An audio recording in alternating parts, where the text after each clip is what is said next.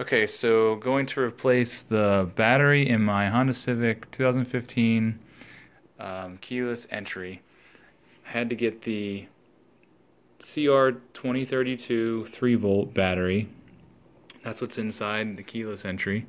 So I'm going to go ahead and show you how to re replace that right now. Okay. So we're going to take this apart. So on the back here is a little flip or little switch so if you push that, you can pull it off.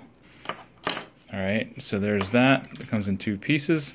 Now, if you look in the center, you can see that there's two pieces separators. What you want to do is push those apart. So I'm going to stick the key in between those and turn, and that's going to pop this thing open. Oh, let's try it again. I'm going to turn it until it pops. There it popped. That comes right open. You see here's the old battery. Just gonna take go ahead and take this out. Alright, so just pull it out.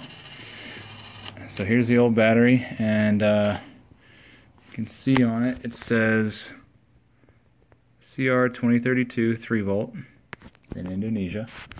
So I'm going to toss this and I'm going to put in the new one which is my Energizer uh, battery 20 CR 2032 3 volt. So I'm going to take off the back, stick it right in. Okay.